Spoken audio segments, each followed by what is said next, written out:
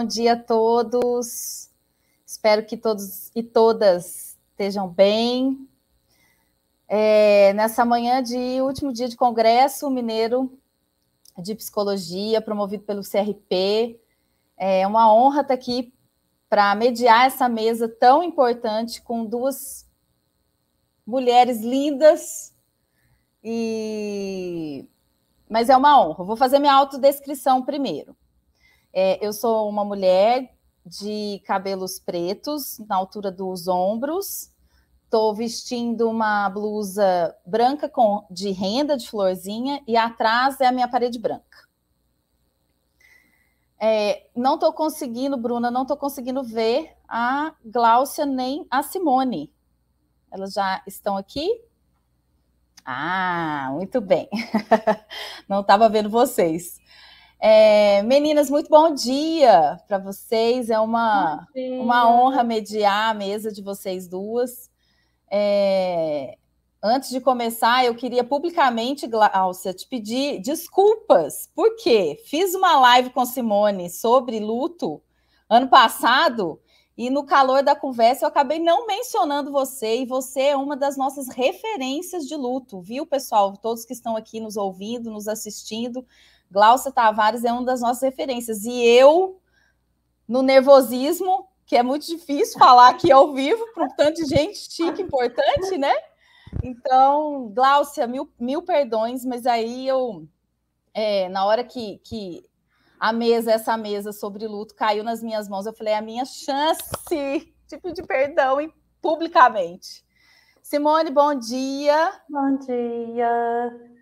Então, pessoal, vou, vou, vamos começar né, essa, essa mesa, mesa 38, suporte aos enlutados, o cuidado dentro e fora dos hospitais, aqueles que vivenciam perda e seus entes queridos. Nós combinamos que primeiro quem vai ter a palavra é a Simone, deixa eu apresentar. Ah, gente, antes eu tenho que me apresentar, eu sou psicóloga, meu nome é Juliana Padilha, é, sou especialista em psicologia hospitalar pela PUC Minas e especialista em cuidados paliativos pelo Instituto Einstein de Pesquisa é, e Ensino, Albert Einstein. É, e sou membro da comissão de orientação em psicologia hospitalar do CRP. Então vamos para Simone, Simone Borges, coordenadora de psicologia no Hospital Mater Dei, doutor em psicologia pela PUC Minas e mestre em psicologia pela UFMG. É, Simone, está contigo.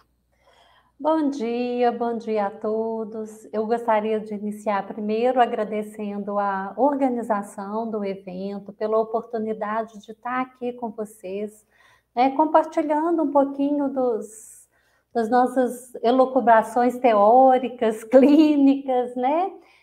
É, tenho acompanhado pouco do Congresso e tenho visto a riqueza que tem sido, né, muito bem organizado, com uma riqueza teórica, clínica muito grande. É uma honra estar aqui com a Gláucia, né, que, como a Juliana disse, é uma referência para falar de luto. E a gente vai contribuindo com o que pode, né? Juliana também, uma pessoa muito querida, que a gente já teve a oportunidade de, de estar juntas. E vou iniciar então com a minha descrição. Eu sou uma mulher de pele clara, cabelos castanhos ao ombro, com uma franja, estou usando óculos. Atrás de mim tem uma parede com um quadro colorido com, com cores. Falando um pouquinho do meu percurso, né? Como a Juliana falou, eu começo, eu formo em 93 na UFMG, vou fazer alguns trabalhos na área social, mas a minha paixão sempre foi o hospital. Então, em 98, eu vou fazer uma especialização na FUMEC, em psicologia hospitalar, e em 99 eu inicio o meu trabalho no Mater Dei, junto com a Marisa DK, com a Leia Moalen, né? E estou lá no Mater Dei até hoje. É, então, é um pouco desse lugar né, que eu venho trazer um pouco da, da minha contribuição aqui para vocês hoje. Então, para iniciar a minha apresentação, é, Eu vou falar um pouco do luto na pandemia, dos cuidados psicológicos, né, dentro e fora do hospital, pensar um pouco nesse contexto da pandemia. E para pensar, eu pensei um percurso em que a gente pudesse trabalhar um pouco do que, que é a pandemia, do, de um ponto de vista mais geral, de que forma que isso chega até nós no hospital e na sociedade para pensar os efeitos disso, né? Como o desamparo e o trauma, trauma. E aí chegar na questão do trabalho de luto, propriamente dito, que depois a Gláucia vai falar mais aprofundamente, né? aprofundar sobre, sobre essa questão. É, então, o que, que vem ser a pandemia? Né? Muito tem se falado né, no, nos artigos da pandemia como um acontecimento, como uma catástrofe. E se a gente for ver um pouco do que, que é o acontecimento, o que, que é uma catástrofe, a gente entende que são conceitos que estão muito próximos, né? Então, olha só, acontecimento, eu vou falar de uma forma mais rápida também, é uma transformação, né? É algo, é um fato, é um evento que marca um antes e um depois alguma coisa capaz de alterar o horizonte de significados e determinar a forma como percebemos a realidade, né? E como também nos relacionamos com ela. A catástrofe também diz disso, de uma mudança abrupta, de uma perda de estabilidade, de algo que abala os modos estáveis de vida, né, os móveis, os modos de relação social, né, e faz nascer repentinamente um novo mundo. Então nós estamos aqui falando de dois conceitos que têm sido muito trabalhados nos artigos, né, que são próximos e que dizem de algo abrupto, de algo inesperado, de algo que traz surpresas, né? Então, a pandemia da Covid, quando surgiu, ela logo, logo mostrou que o vírus ele não escolhe o lugar, ele não escolhe classe social, raça, gênero, né? Ele simplesmente se espalha. Nesse sentido, ele é bastante democrático. Mas, entretanto, a gente não pode deixar de desconsiderar que os, os marcadores sociais, eles têm seus efeitos na pandemia, né? Temos aqui uma questão social, política, que não pode ser descartada. Eu não vou me aprofundar nisso, mas é importante que a gente considere esse contexto. O vírus atinge a todos, mas não da mesma maneira. Por quê? Porque nem todos da sociedade conseguem ter os mesmos mecanismos de proteção contra os vírus. Né? E o, a, os recursos, o vírus é democrático, mas os recursos contra o vírus, eles são diversos, né? E eles se diferenciam muito pela classe social, e isso é uma coisa muito falada desde o início da pandemia. no hospital, né? Então, para a gente entender um pouco do que, que foi isso no hospital, de como nós, profissionais de saúde, vivenciamos isso, né? Essa mudança, essa chegada da, da pandemia no hospital, eu trouxe aqui o depoimento que hoje já está publicado, né? De alguns profissionais que trabalham em hospital. Então, assim, parecia que tínhamos acordado em meio a um pesadelo. De repente, tudo mudou. É esse caráter de uma mudança brusca. Mudaram as regras, os protocolos, as prioridades. Era março de 2021 e parecia tudo muito improvável de acontecer até chegar março de 2020, né? Eu errei aqui a data. E parecia tudo muito improvável até de acontecer até chegar o primeiro caso de Covid nos nossos sob os nossos cuidados. Início do mês de março de 2020, tomados de muita exaustão e sentimentos, acho que eu me perdi no tempo, né? Porque já são mais de dois anos de pandemia. de exaustão e sentimentos de potência, somos acometidos. Ah, não, aqui é 21 mesmo. Somos acometidos pela avalanche da segunda ou terceira onda da Covid. Somos engolidos pela força desse vírus cruel. Então, a gente já tem um ano de pandemia e quando chega uma outra onda, né, uma segunda, uma terceira, uma quarta onda, é o mesmo sentimento de algo abrupto que irrompe, né, que chega de repente que nos engole. Ele chega com uma força, uma brutalidade que causa pânico e desespero em toda a equipe. Chegou mais forte, mais sorrateiro, mais destruidora de lares. Então, como que é o impacto disso, né? Após um ano de pandemia. Lembro da sensação de medo e paralisia que senti tentando assimilar aquilo tudo e pensar no que teríamos que enfrentar. Tantas incertezas e angústias, medo de pegar, medo de levar para as minhas crianças, medo de que alguém adoecesse por minha causa. Então, dentro, do, não, dentro do, do contexto da saúde, da instituição hospitalar, isso era muito comum, muito frequente, né? Antes da vacina, antes de qualquer proteção mais redundante né, do, contra o vírus. É o medo de pegar e de levar para alguém que, que você ama. E na sociedade, né, era uma percepção repentina da perda de um modo de vida. Né? Todos nós perdemos o modo como nós vivíamos. Chegou o isolamento, as palavras de ordem eram, né? Isolamento, confinamento, distanciamento social. Uma impossibilidade, muitas vezes, uma dificuldade para manter as relações sociais. E o que, que a gente escutava na clínica, nos consultórios? Então, eu lembro de uma paciente idosa com mais de 70 anos e que ela, de 15 em 15 dias, ela fazia um, um chazinho que ela chamava o chazinho das meninas, né? Era ela, as primas, tias, com mais de 70 anos, ela tem tia viva. Alguns sobrinhos participavam, e eu lembro que logo no início ela falava assim: Mas eu vou ter que abrir mão do meu chazinho? E aí eu disse para ela: Não, você não vai ter que abrir mão do seu chazinho. Seu chazinho vai ser diferente.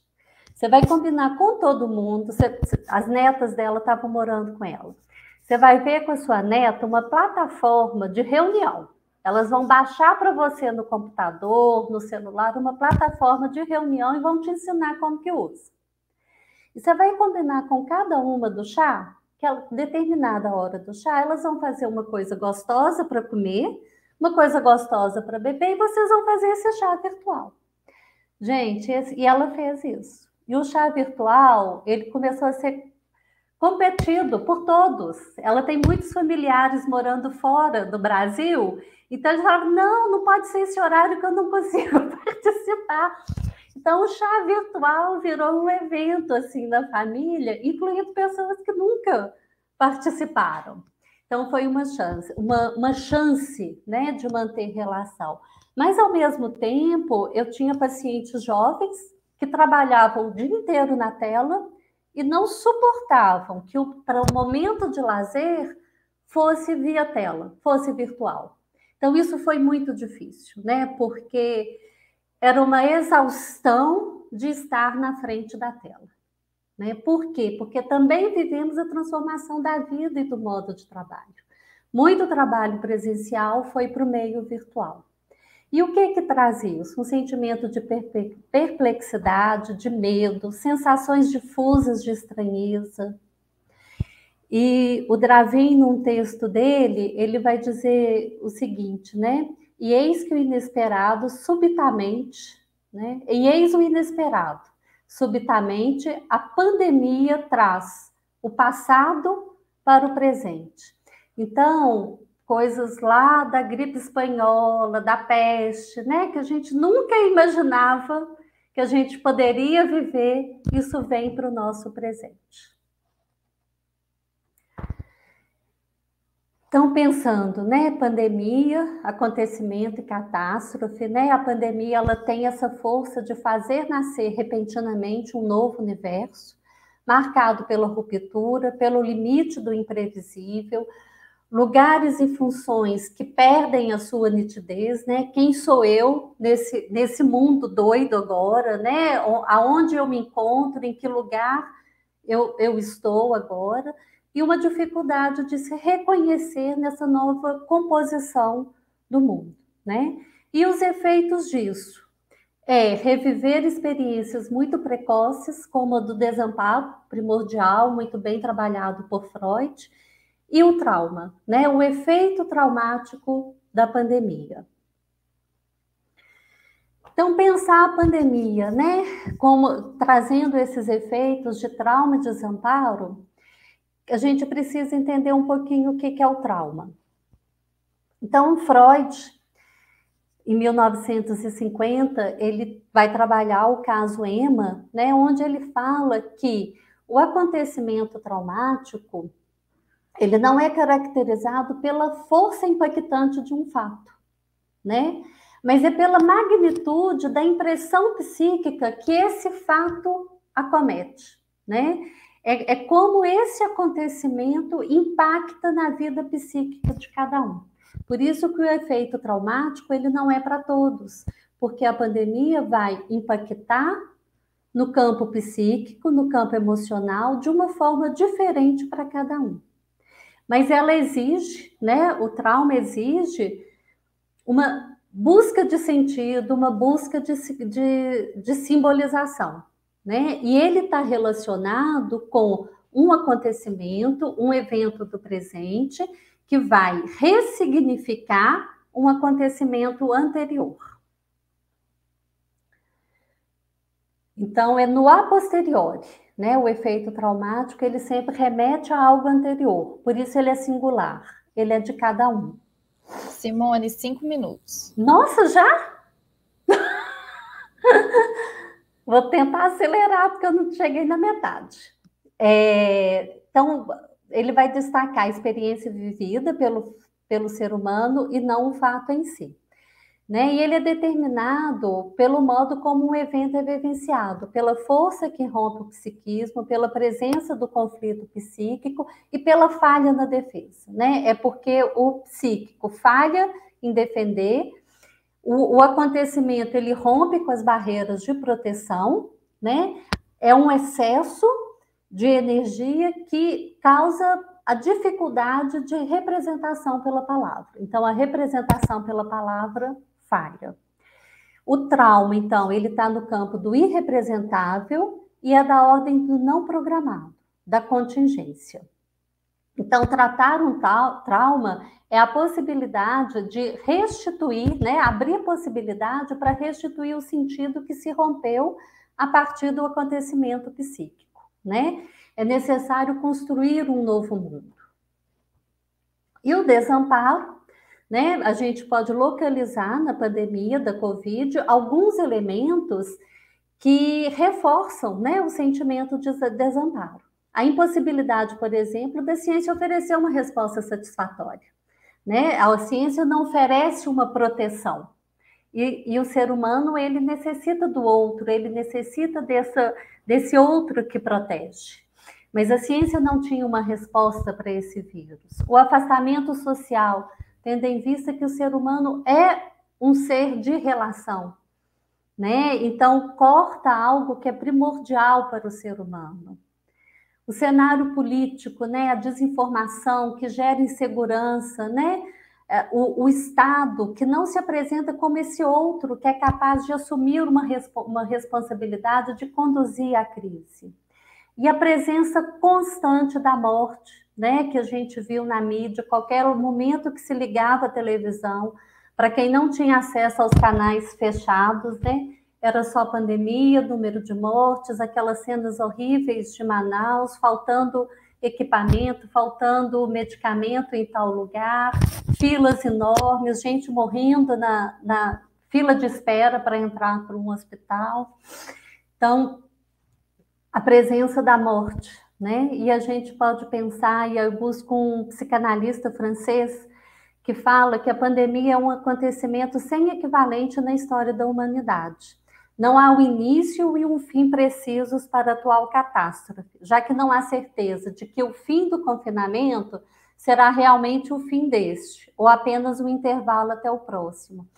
E ele fala uma coisa muito interessante, né? Que nesse cenário de, inter... de incerteza, nos coloca diante de quatro angústias de morte: a morte física, a social, a psíquica e a coletiva, né? Que pode nos levar a uma sensação de esmagamento. A morte física é isso, né? Que o vírus pode acometer a cada um em qualquer momento. A social, porque interrompe abruptamente, né? As relações, você não pode estar junto com os amigos, você não pode estar junto com a pessoa que adoece a morte psíquica, né, que é esse questionamento, quem sou eu agora, né, onde que eu me encontro, que, que, é, que lugar que eu me localizo, e a morte coletiva é isso que ameaça toda uma civilização. No trabalho de luto, né, a gente retoma Freud, que ele vai dizer que luto é a reação à perda de um ente querido, mas não é só isso, né? é uma perda, perda de uma abstração, de alguma coisa que ocupou o lugar de um ente querido, que pode ser o país, a liberdade, um ideal, uma ideia. Então, Freud vai dizer muito do trabalho de luto, né? O que, que caracteriza o luto? Né? É caracterizado por uma inibição, uma perda de interesse pelo mundo externo, né? O mundo se torna pobre e vazio. E ele exige um dispêndio de energia, né? Porque você precisa se desligar disso que se perdeu, que você perdeu. E Freud vai dizer que isso acontece pedaço por pedaço. Por isso ele vai chamar isso de um trabalho, né? O luto, ele, esse desinvestimento libidinal, ele não acontece de uma hora para outra ele ocorre pedaço por pedaço. E quando se conclui o trabalho de luto, é quando o ego se vê livre, né, para poder fazer outros investimentos libidinais. Então, inibição e circunscrição do ego como expressão de uma exclusiva devoção ao trabalho de luto, né? Aquele momento que a pessoa está voltado, né, para suas lembranças, para o que perdeu, para buscando reconstruir, né? Reconstruir significados, sentidos. E essa não é uma substituição que é realizada facilmente, né? Freud vai dizer de fatores emocionais que entram nesse trabalho e que podem é, ser iminentes, né? Quando a morte se faz presente. E aí eu sempre lembro do La Rochefoucauld que vai dizer que nem o sol nem a morte podem ser olhados de frente. Então, quando estamos falando de morte, nós estamos falando de algo para o qual nós não temos palavras, né? Para o qual nós não temos representação, que nós não podemos encarar de frente. A gente precisa de véus, a gente precisa da palavra, a gente precisa construir algo para conseguir encarar. E a Jeanette Rambaud diz uma coisa que eu gosto muito, né, quando ela vai falar da morte, que aceitar a morte do outro é aceitar um nunca mais de olhar, de voz, de ternura, bases da troca, das trocas com o outro, uma ausência de futuro no projeto imaginário comum. O ponto final de uma partitura de um dos instrumentos de nossa sinfonia fantasmática. Né? Então, o trabalho de luta ele passa por tudo isso, né? por dar conta de aceitar esse nunca mais de olhar, esse nunca mais de voz, esse nunca mais de ternura. A gente precisa internalizar aquilo que perdeu para poder perder no mundo externo. E o que que nos ajuda nesse trabalho, né? A desidentificação com a causa da morte, isso é muito comum a gente escutar nas, das famílias no hospital se eu estivesse em casa e isso não tivesse acontecido, se, e na pandemia, né? Será que se eu não tivesse saído aquele dia, eu não teria, eu ter, não teria adoecido e não teria contaminado meu ente querido, se eu não tivesse feito isso, se eu tivesse feito aquilo, eu poderia ter me isolado mais. Aceitar a própria morte, né, como futura, pensar que a morte, aceitar que a morte faz parte da vida. Ter o luto anteriores não elaborados, né, vai dificultar o trabalho atual do luto. Então, isso é uma coisa que a gente trabalha com as famílias, né? Como que elas chegam ali, o que, que elas já passaram de perdas. E para a criança que ela tenha um meio que saiba escutá-la, né? Que saiba permitir que ela fale, que ela coloque a sua curiosidade, que possa acompanhá-la nesse trabalho. Estou terminando, tá? E aí que a gente não pode deixar de falar da importância, né, dos ritos e dos rituais, né? Os rituais eles estão presentes na nossa humanidade há séculos, né? E eles marcam o estado de enlutamento em reconhecimento ao valor e importância daquele que foi perdido. Então, o que, que a gente viu muito na sociedade? Né? Do, ao mesmo tempo que a gente tinha, por exemplo, a plataforma dos inumeráveis, né? que buscava trazer um lugar para essa pessoa que foi perdida, trazer um lugar de construção de sentido. A gente tinha também iniciativas, por exemplo, lá na Praia do Rio, aquele momento em que eles colocaram tantas cruzes quantas vidas tinham sido representando o número de vidas perdidas, mas ao mesmo tempo uma sociedade que não permitia essa manifestação, né? Tinha alguém que ia lá e destruía o monumento que estava sendo construído. Então, uma briga, um, uma competição na sociedade.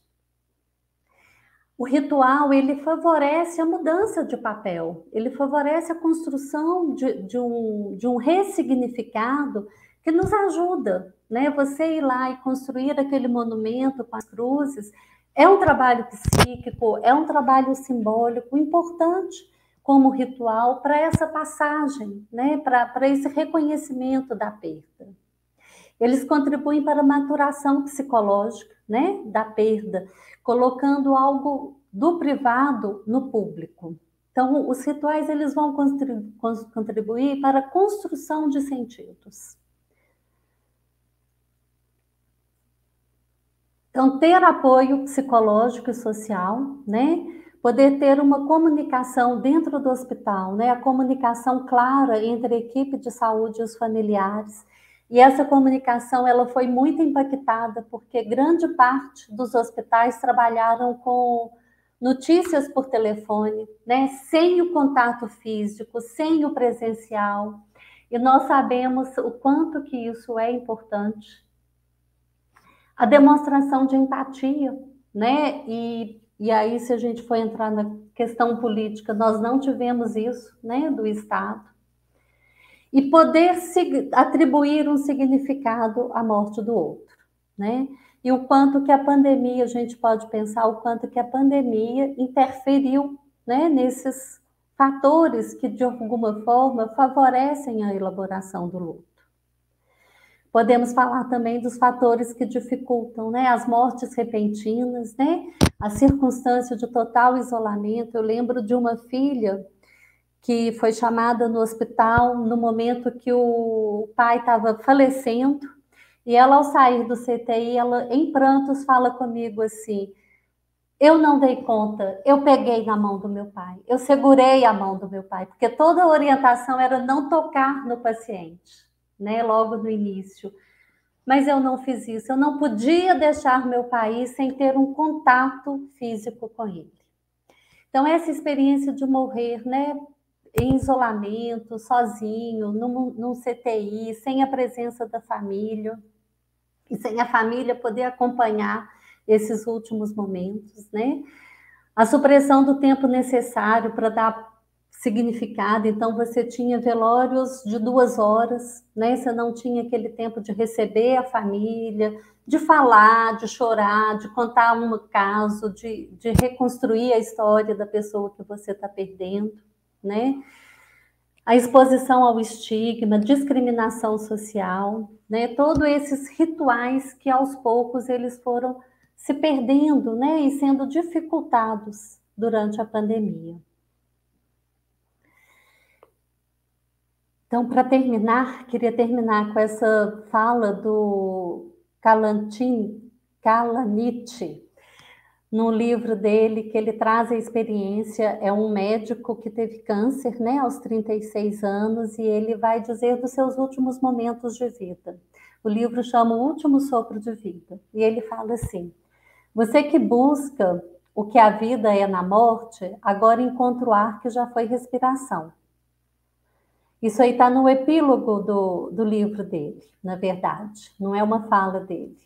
Novos nomes desconhecidos, velhos nomes se vão. O tempo elimina corpos, mas almas não. Leitor, faça seu tempo enquanto pode, mas caminhe para a sua eternidade. Aqui as referências bibliográficas e agradecer deixar meus contatos.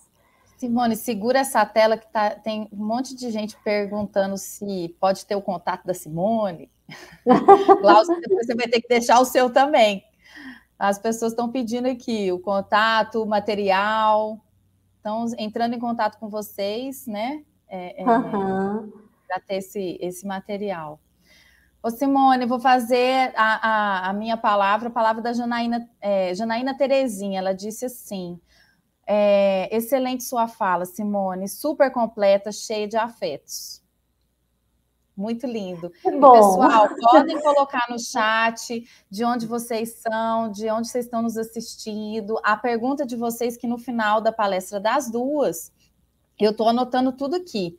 Aí a gente vai conversar um tiquinho sobre as dúvidas, tá bom? É. Muito bom Simone, escutar obrigada. Isso. Tá, muito bom escutar a Janaína, né? Porque falar de um tema tão difícil tem que ter, tem que ter afeto mesmo. É. que bom que eu consegui transmitir isso. Foi lindo.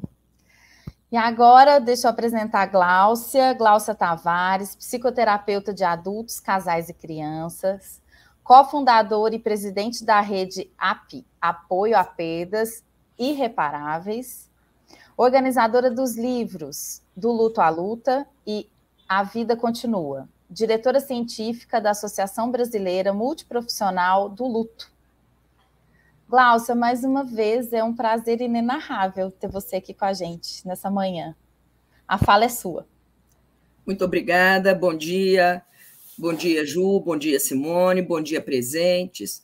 Cumprimento aí a iniciativa do, do Congresso, agradeço o convite e me apresento aqui como uma pessoa de cabelos castanhos tintos. É, estou aqui de onça, estou, então, à disposição de vocês. É, e quando escuto Simone dizer da formação com Marisa né, e o caminhar é, eu caminho aí na psicologia hospitalar na época que ainda a profissão não existia no Brasil. É, Marisa foi minha aluna, cheguei a pintar paredes da Santa Casa, paredes do Hospital das Clínicas, o grande encontro com muitas pessoas, o que levou, anos depois, é, ao meu interesse em ser a primeira psicóloga não médica, então, né? É o primeiro profissional não médico é, a fazer o mestrado lá na Faculdade de Medicina e o caminho que eu tenho, então, com o tema. Né? É, esse ano, completo, então, 45 anos de formada, que tenho aí muito carinho, escuto com certa regularidade as pessoas perguntando: está trabalhando ainda? E eu acho que é legal né? É, entender que esse advérbio ele me abre espaço de compartilhar.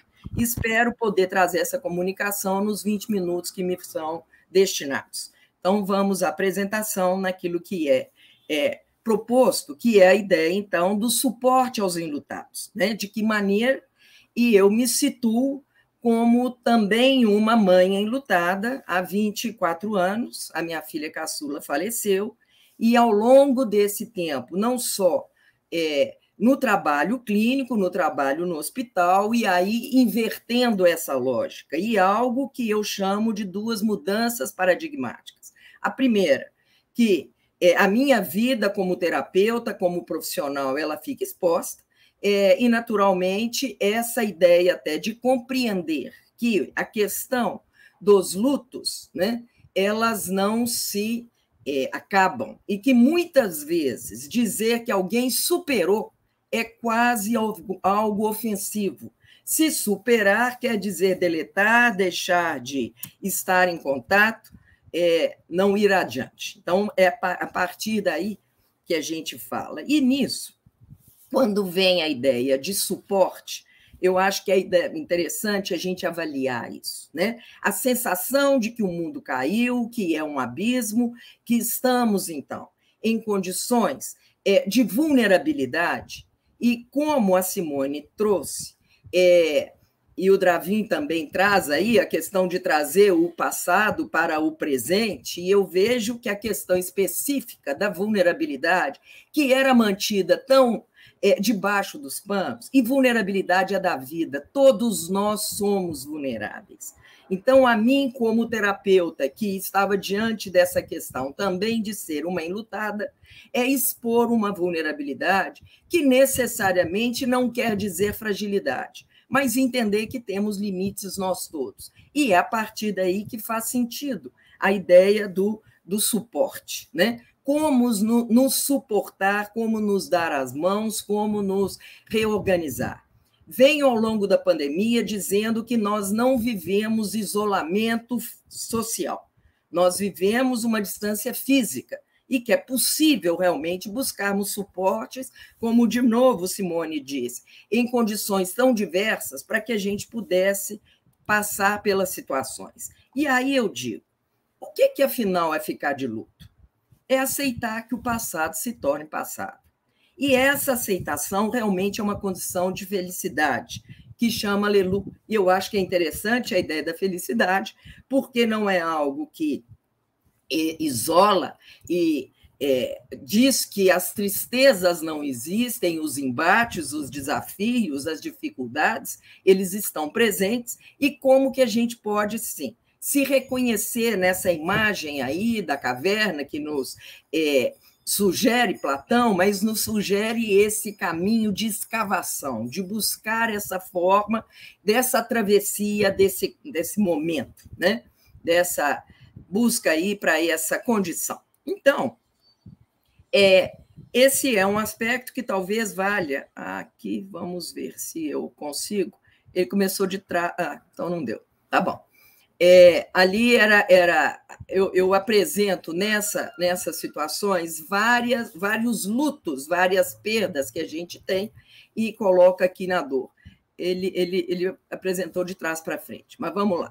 Então, a primeira questão que está presente é a história da nossa ilusão, e como eu disse, a ilusão da nossa invulnerabilidade, a ilusão da nossa imortalidade. Brinco muito que a Academia Brasileira de Letras é, tem lá os seus imortais e que são rapidamente substituídos quando morrem. Né? Então, é uma imortalidade temporária. Né? Então, de que maneira que a gente realmente lida e entender que dor é um sinal vital de alarme, é uma referência de vida. Agora, quero saber isso. Somos de fato adultos? E quando eu digo até que me apresento como terapeuta de adultos, eu não estou dizendo de idade cronológica, mas estou dizendo sim de um repertório para lidar com os desafios, com as dificuldades, com as frustrações da vida. Agora, enquanto negamos fazemos de conta, recusamos, blindamos ou julgamos como fracasso, essas são formas adultas é, de lidar com as circunstâncias, com aquilo que de fato nos acomete, né? E chamo atenção, então, especialmente no contexto hospitalar e fora dele, para o que eu estou colocando no plural: lutos antecipatórios é, mesmo que não exista a morte em si, e eu acho que é interessante a gente ampliar o conceito de luto e entender que luto, ele existem também os lutos não mortes, é, não se restringem a mortes, e é, venho ousando dizer, e acabei de publicar isso no, nesse último livro organizado pela Karina Fukmuts, que se chama Revés de um Parto, que todo e qualquer processo de escolher é também um processo de luto. na medida em que precisamos priorizar e renunciar em qualquer sentido. Existem escolhas que são muito mais simples de serem feitas, mas por todas as escolhas, elas não são nem tudo bem e nem tudo mal. E nós vamos precisar de aprender esse aspecto. Então, é no processo do adoecimento, e entre eles o luto até dessa ilusão é, de que a gente é forte, dorme como é, ferro, acorda como pau, dorme como pau e a gente é inabalável, né? São inúmeras situações que de fato nos abalam e a vida nos abala. Né? Os, as nossas frustrações ocorrem e de que maneira que de fato nós digerimos esse caminho. Nós vamos reagir ou vamos relacionar? É uma reação ou é uma relação? Então, acho que é interessante a gente também trazer alguns mitos sobre os lutos. Primeiro, que ele se dá em fases. E eu acho que isso é interessante porque, sem dúvida nenhuma, e agora completaram 53 anos do lançamento do livro da Elizabeth Kubler-Ross, que foi um marco, é, e que ela fez estudos e ela apresentava 50 fases. Bem americanamente, foi reduzido para cinco e o grande perigo é que nessas fases acabam sendo é, demarcadas situações com um efeito de generalização. Então, eu agora estou na negação, e negação todo mundo nega igual. Não, não somos iguais. Né? Então, essa é a história. Então, nós falamos de um processo, e um processo que ele é singular. Ele é tão particular quanto as nossas impressões digitais. Falo também que luto não é rompimento de vínculo. Essa é uma definição do Colin Parks, e eu ouso também a dizer que é uma permanência fluida, porque o vínculo amoroso afetivo, esse é para sempre. Só vai dizer que acaba e que deleta provavelmente quem não mantém essa relação amorosa, que ela está presente, e isso não é adoecer, né? Falar sobre o ente querido não é patológico, é uma ligação, é uma conexão. Conservar os objetos também não é sinal de luto complicado cada um vai ter a sua forma. E raiva e tristeza não serão emoções que serão eliminadas. Aliás, com frequência a gente escuta isso. Emoção negativa. Olha, não existe isso. Mas existe o que, que é que a gente faz com essa energia que nos move. Essa é a etimologia da palavra. Não é a tristeza, não é a raiva é, que é o problema, é o que, que eu faço com isso. Não é o isso, é o que eu faço. Então, é, Marie Renezel diz: olha, a experiência do luto ela nos humaniza, ela deita-nos do nosso pedestal narcísico, machuca-nos, lembra-nos que não somos onipotentes, que tudo passa, tudo muda, nem sempre teremos ao nosso lado quem a gente ama. E toda essa dor, contra a qual nos defendemos de todas as maneiras possíveis, acaba por abrir um espaço dentro de nós. Um espaço muito fértil, que eu chamo, que é de pobreza e fecundidade é um espaço para amar. Eu faço essa distinção. Amor é diferente de amar.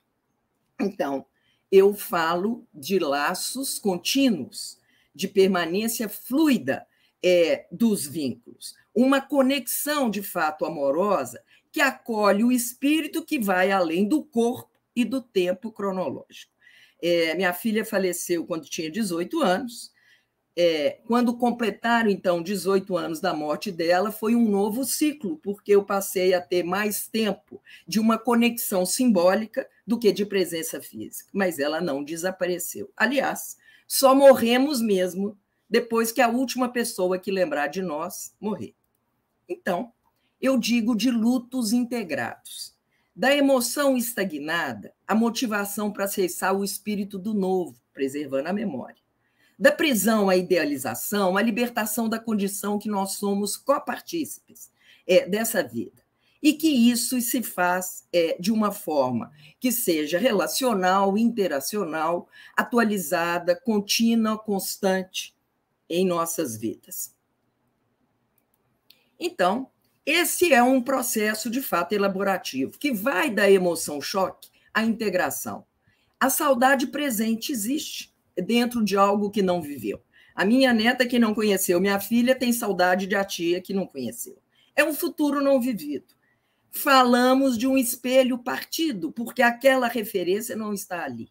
mas de que maneira que a gente possa buscar nossos laços, né? Assuntos pendentes, projetos vitais e elaborar, inclusive, essa culpa dos sobreviventes, especialmente a questão da pandemia, né? Quando, muitas vezes, a ideia inicial que os netos contaminavam os avós e os avós morriam. Então, como que fica? Aí eu já atendi várias famílias nesta circunstância. Né? Então, a ressignificação, e assim como eu disse, que superar chega até ser ofensivo, gosto muito de verbos iniciados pelo prefixo ré. Reelaborar, reiniciar, reaprender, ressignificar e quantos R's quisermos. E que é trazer essa condição de que existem perdas das relações familiares e de que maneira que isso possa ser recomposto. Como que se pode, de fato, organizar essas elaborações. Né? Então, é, citando a mim mesmo, digo que é aprender a transformar a dor. A gratidão não anula o luto, ela consuma. É necessário curar os infortúnios pelo saber que não é possível anular o que aconteceu. Trata-se de aceitar o que é e o que não é mais. Trata-se de passar da dor atroz da perda à doçura da lembrança.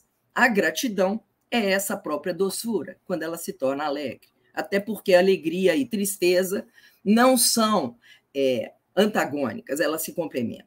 A organização, então, dessa rede sociofamiliar.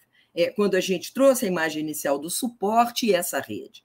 É uma organização da vida diária, é essa oscilação, sim, entre é, o impacto da, da, da dor, da perda e também caminhos de reconstrução.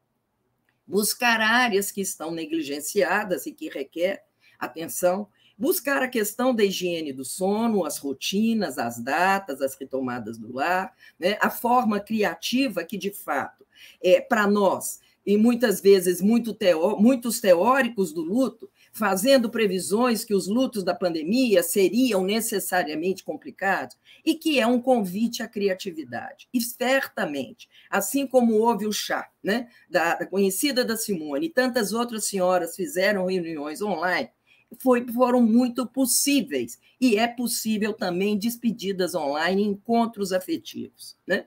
Esse é o nosso primeiro livro, que é o do Luto à Luta, onde a gente destaca a questão da separação para a reparação e a restauração, e o prefixo R está presente.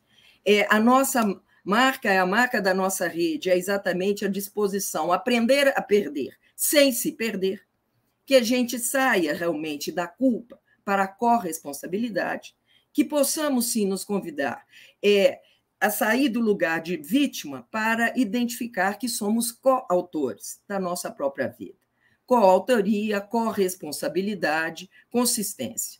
Esse é o nosso segundo livro, que a vida continua, e naturalmente essa questão de trazer essa presença ativa, essa forma de acolhimento a dores, buscar e ativar ilhotas de bem-estar, e isso não quer dizer uma deslealdade à relação afetiva e amorosa, é buscar essa memória e reverência, e naturalmente entender que existem caminhos que são contínuos é, entre a questão dos problemas e contínuas soluções que a gente fala. Então, gosto muito da gente entender processo de vida é, quando a gente usa o tempo gerúndio. Ele vai se fazendo, ele vai se passando, ele não esgota. E aí é Harry Noven que nos conta. Aqueles que você amou profundamente. Nossa, cinco minutos. Muito obrigada. Acho que vou cumprir meu horário. Te agradeço. Aquele que me amou profunda, que a gente amou profundamente e que morreram vive em você, não apenas como memória, mas como presenças reais. E isso não é alucinação, né? Então, é esse convívio com a energia espiritual que fala de uma qualidade de presença. Então, morrer é ser esquecido. Se alguém me esquece de convidar para alguma coisa em algum momento, naquele momento eu fiquei morta. Né? Agora, é possível ir além da matéria, é possível considerar a, a memória, é possível validar a relação amorosa, e é essa capacidade de amar que conecta a presença na ausência. Então, é o amar que está aqui como uma ação contínua, que requer carinho, afeição, reconhecimento, respeito, compromisso, confiança, honestidade e comunicação sincera. Falar de luto não é tema mórbido, não é morbidez. Falar de luto é lucidez na vida e é estar diante de uma vida real. Cumprir o meu prazo, eu agradeço aí a atenção. Muito obrigada. Sabe o que, eu sinto falta? Dos aplausos, né? Quando a gente está presencial, cada fala que, né, que se encerra, vem um aplauso. É que vocês é, fico imaginando, na nossa sala tá mais de 170 pessoas, essas 170 pessoas aplaudindo vocês. E, e, tem Silvia disse, Gláucia, sempre é tão bom te ouvir. E Silvia, sempre é tão bom ouvir a Gláucia. É, é de uma maravilhosidade. Que delícia. Então, meninas, no chat a gente está recebendo um tanto de carinho da fala de vocês duas. Temos, temos é, é, é, na nossa sala pessoal de Juiz de Fora, Viçosa, BH, Betim, da Paraíba, da Bahia, Nepomuceno, Caeté, Divinópolis. Então, a gente está levando é, esse tema é, tão importante que tem que falar, né? E vocês trouxeram esse afeto, doçura, teoria, vivências, experiências, então maravilhoso. É, existem é... algumas questões, né, Ju? Eu acho que uhum. se a uhum. gente avaliar é, pelo Big Data, a palavra mais dita em 2020, evidentemente que por motivos óbvios, foi luto. Né? Foi. Acho que é, junto com essa questão, a nós psicólogos e essa iniciativa do CRP de estar tá fazendo um congresso, de trazer essa mesa para o congresso, é entender, sim, que a nós psicólogos nunca fomos tão solicitados e necessários. Por outro lado, temos que ter muito cuidado para não fazer bobagem, porque excesso de exposição também é um risco.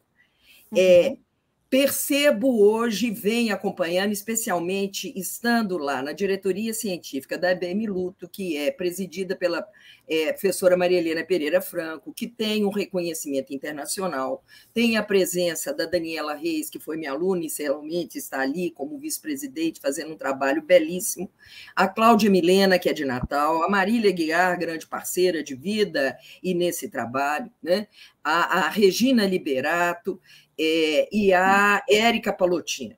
São todas pessoas que a gente tem a oportunidade de perceber uma caminhada longa de dedicação e trazendo aí questões importantes e aprofundamentos contínuos. Ao lado disso, venho me deparando com especialistas em luto de um fim de semana. E isso não é um tema apenas teórico né? É, quando eu digo dessa quebra paradigmática, na minha condição específica, de é, ter passado por essa questão, de estar ao longo desses 24 anos com a nossa rede de apoio a enlutados, como um trabalho de fato pioneiro aqui para nós, Brasil, né? e hoje.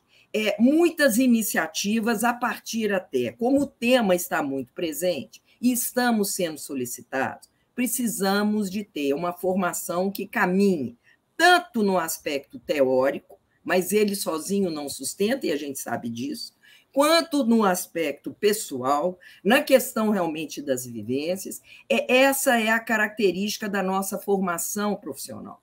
Ela, ela tem trabalho. Né? E ela é, tem grupos de supervisão. Fui supervisora há muitos anos e sempre me incomodei muito com esse nome, porque é, é, como se eu vestisse uma super capa, vou superver? Não, não via. Né? Eu nomeei de consultora reflexiva, achei que ficou meio snob, mas de alguma forma, e me oriento aí com Marilene Grandesso quando ela instaura a proposta de uma intervisão. E acho que é importantíssimo isso. Escuto em outros lados. É, também terapeutas dizendo que estão muito sozinhos no seu trabalho. Eu acho muito curioso, porque um sozinho que eu estou com o outro, que sozinho é esse? Se eu estou dispondo a estar com outro, que relação é essa? Que solidão é essa? A quem que eu estou abandonando? Eu estou com outro, de fato, quando eu me sinto só. Né? Onde eu me encontro nessa história, especialmente sim, lidando e como eu estou abrindo é, o conceito de luto no nosso dia a dia, fazendo escolhas. É, esse tema ele está presente o dia inteiro. Isso é vida. Que qualidade de vida nós estamos nos dando? Então, seriam comentários aí que eu iria fazer. Maravilhoso, Gláucia. Posso jogar as perguntas?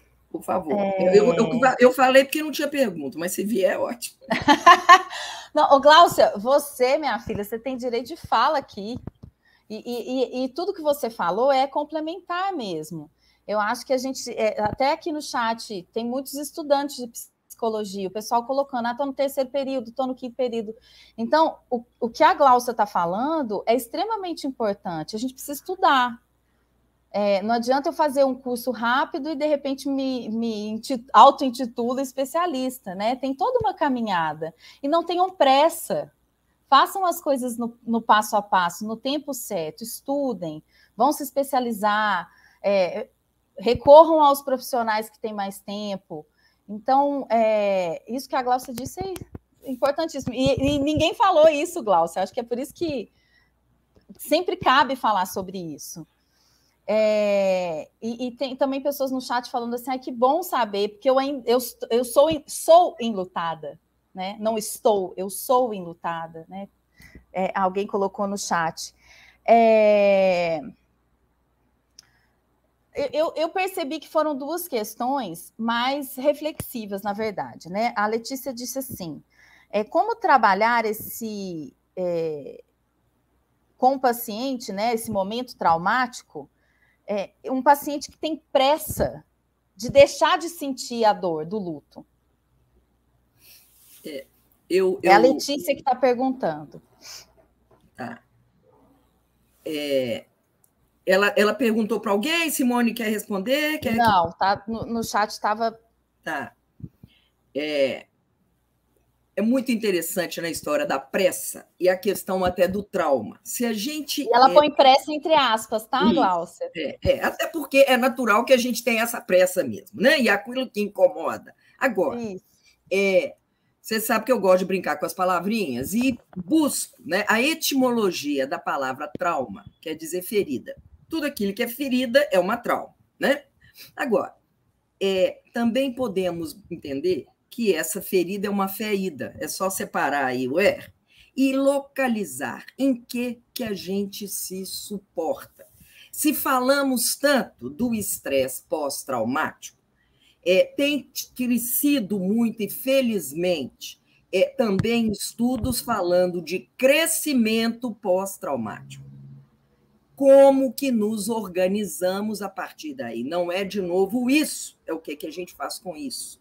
Então, se a ideia do suporte, que foi o tema que me foi solicitado falar, até no trauma, é conseguir entender onde é que eu posso me autossuportar, como é que eu posso pedir ajuda, e isso não quer dizer é, humilhação, é, até porque humilhação e arrogância caminham bem de mãos dadas. Me conta o tamanho da sua arrogância, que eu te falo da sua humilhação, como me conta o tamanho da sua humilhação, que eu vou te contar a sua arrogância, né? Mas falamos de uma humildade. E eu vejo que acolher as nossas vulnerabilidades, não somos absolutos, não somos perfeitos, não damos conta de tudo, o que não quer dizer que sejamos nada mas possamos sim, a partir daí, nos abrir para pedir. Lidar com situações que nos ferem, pedem pedido e não queixa. E eu faço essa distinção conceitual. Queixa é diferente de pedido. É, e quero ressaltar muito, porque nos nossos roteiros anamnésticos tradicionais, depois dos dados de identificação, nós temos lá não só a queixa, como a queixa principal. Isso de cara estabelece uma relação vertical extremamente perversa. Porque nós estamos retirando o poder, o lugar, a disposição das pessoas e começar a perguntar o que, que você quer, o que, que você espera, e começar a transitar isso. Querer a, o, o ente querido de volta Querer que a pandemia não tenha acontecido, isso nós estamos alucinando. Mas dentro desses dados reais, dentro desses limites, e um rio ele só corre porque ele tem margens, e a nossa vida real ela tem limites que vão nos orientar e nos conduzir. onde possamos ser criativos, onde possamos buscar barreiras, onde possamos, sim, encontrar as nossas feridas e buscar formas é, criativas de buscar aprendizados e o tal do aprender a perder sem se perder. Quem tiver interesse, tem uma música linda que é o nosso hino da nossa rede app, que se chama Recomeço, e cujo refrão é esse, né? É, aprender a perder sem se perder. Isso está, então, nas minhas redes, glauciatavares.psico.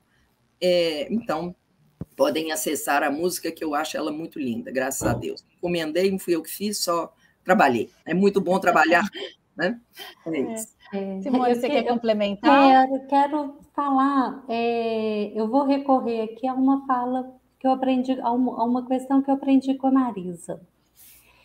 Instalar uma pausa na pressa. Uhum. Né? Então, muitas vezes nós precisamos instalar essa pausa na pressa.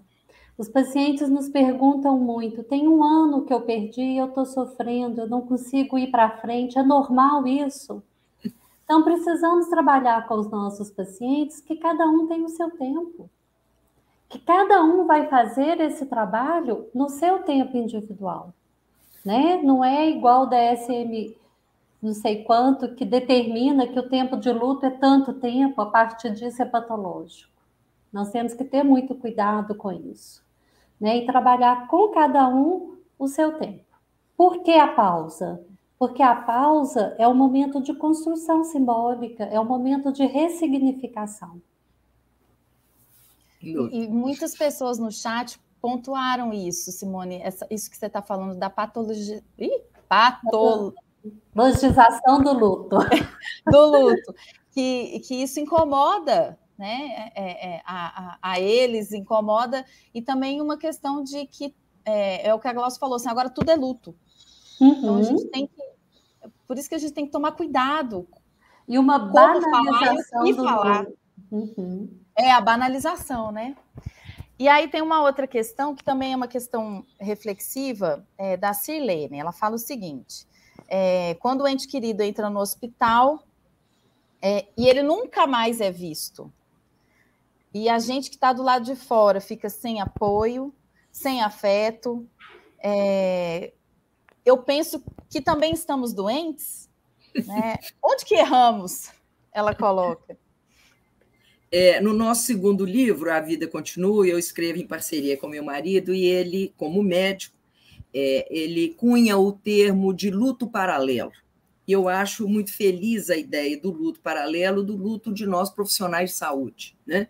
E é interessante porque ao longo dos 24 anos de existência da nossa rede de suporte aos, enlutados, que é a Rede AP, é, inicialmente eram pais que perderam filhos, depois a rede foi ampliada para pessoas que perderam entes queridos, independente aí do laço de consanguinidade.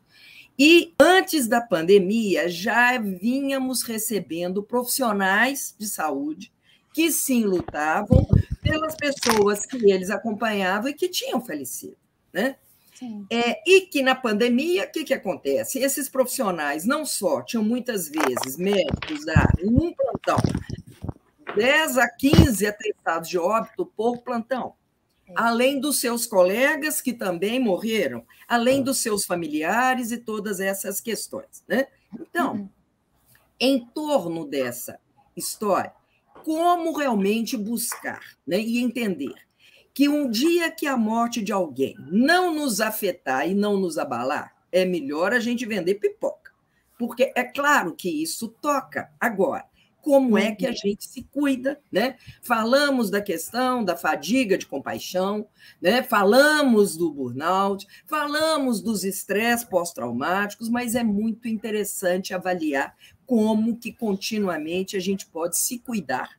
E é nesse sentido que eu digo que fazer esse acompanhamento, ele não é só teórico, ele não é só pessoal, ele é também interacional, porque é claro que isso chega a nós e como que nós também nos colocamos. No mínimo, como é que a gente reflete sobre a qualidade de vida que a gente tem, né?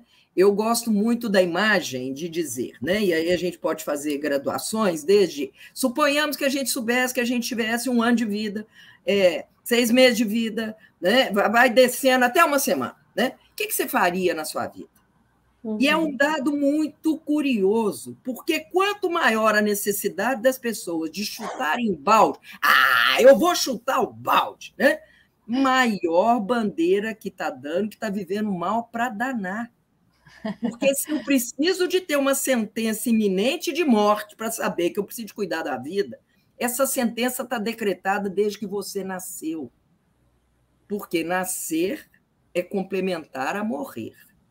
Morre tudo que nasce, nós não sabemos a data. Agora tem que esperar chegar no segundo tempo, nos minutos finais do segundo tempo, para ficar bom.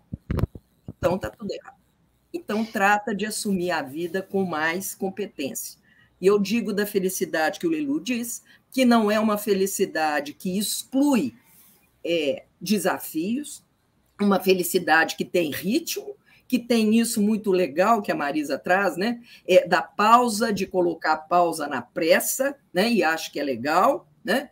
É, e que a gente possa se reconhecer por inteiro. Então, é o que eu teria a dizer. Meu Instagram está complementar? É Gláucia Tavares, Vocês, tem jeito de escrever aqui? Eu, eu escrevo no chat? Escreve no chat e a, e a Bruna coloca lá para o pessoal. Tá bom. Queria porque ela toca num ponto, né, que é muito a nossa vivência do hospital, que é o isolamento entre família e paciente, uhum. né?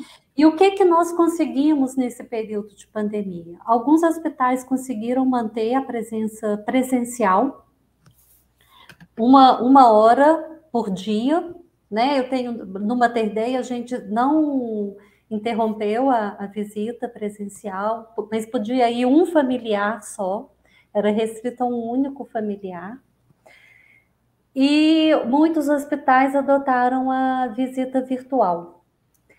E outra coisa que foi adotado também é o atendimento virtual para o paciente e para os familiares. Então, lá no hospital, grande, os pacientes que estavam acordados no setor Covid, eles também ficavam com o celular, né? Até para poder manter essa conexão. Então, foram iniciativas que a gente conseguiu ver, né? Nos hospitais, para tentar fazer esse link, né? Eu saí aqui um pouquinho, foi para buscar esse livro que foi publicado esse ano, organizado Nossa, pela, é, pela Juliana Batista, que é uma psicóloga de São Paulo. E no texto dela, ela traz uma coisa tão bonita que a fala da Sirlene, né? É. Me lembrou. Ela fala assim: Este é um capítulo sobre muitas histórias, histórias das quais sou testemunha desde o início da pandemia e tenho a grata tarefa de me dispor como ponte, ser aquela que liga um lugar ao outro, pois é exatamente isso que faço há muitos meses. Ligo pessoas que se amam e estão longe. E o que são pessoas, afinal, se não lugares subjetivos? A ideia de que cada pessoa é um universo soa muito bem nesse contexto. Portanto, cá estou, ligadora de universos, para compartilhar com vocês como as visitas virtuais são potentes e abarcam muitas narrativas importantes diante do sofrimento das famílias. Eu acho que ela consegue trazer isso com uma beleza muito grande e que é o, foi assim o fundamento do nosso trabalho nessa pandemia, né? Ser ligadores de universos. Com certeza. Meninas, a gente precisa encerrar. Ai, que Teve pena. um tanto de gente que falou assim: ah, a melhor mesa, a gente fica honrada. é, e se deixar, a gente realmente se perde no tempo, porque são duas profissionais extremamente maravilhosas, né? Então, eu sou suspeita, eu aprendo com as duas a cada vez que encontro. Então, Simone, obrigada, Gláucia, obrigada, assim, não tem palavras. É, ô Simone, você não tem Instagram, não, né? Que estão perguntando aqui. Eu tenho, mas eu sou péssima nas redes sociais, gente. Tá, então ah, fiquem com o, o, o, e-mail, né? tem o e-mail, tem o número do meu WhatsApp. Tá, que foi o que você colocou na tela. Isso. Então, meninas, muito, muito, muito, muito obrigada mais uma vez. Que tenhamos um excelente final de semana, restinho de sexta. E para vocês de casa, mais uma vez, muito obrigada. CRP, muito obrigada por tudo, né? É, por essa chance de estar tá falando para um monte de gente, né? Então é isso. Beijo. Obrigada, obrigada pelo convite, obrigada pela presença, obrigada, Simone, pelas falas. Ju, até, até mais. Eu que agradeço pelo convite, pela oportunidade de estar aqui com a Gláucia, com a Juliana. E seguimos, né?